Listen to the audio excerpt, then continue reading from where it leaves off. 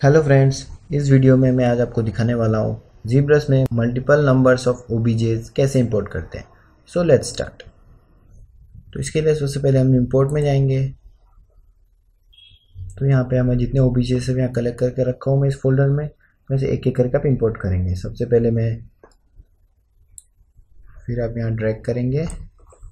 T T for edit F for fit to screen तो ये हमारा ओबीजे इंपोर्ट हो गया है।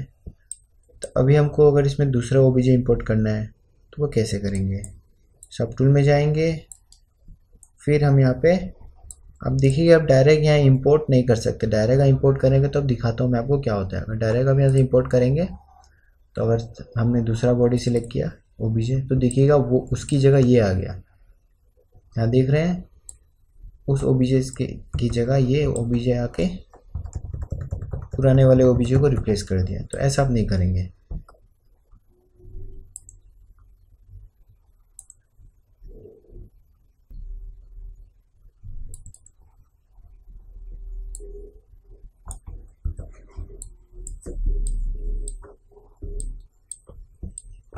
अब ये हमको इसमें दूसरे ओबीजे इंपोर्ट करने हैं, वो कैसे करेंगे? इसके लिए आप सब टूल में जाइए, फिर अपेंड तो कोई भी एक मैस आप ले लीजिए। जैसे ये मैस आ गया। यहाँ देखिए एक और सब टूल क्रिएट हो चुका है। उस सब टूल पर क्लिक कीजिए।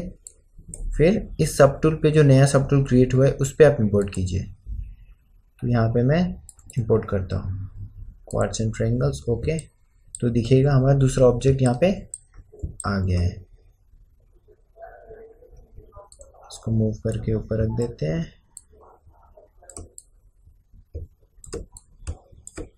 बड़ा करना है।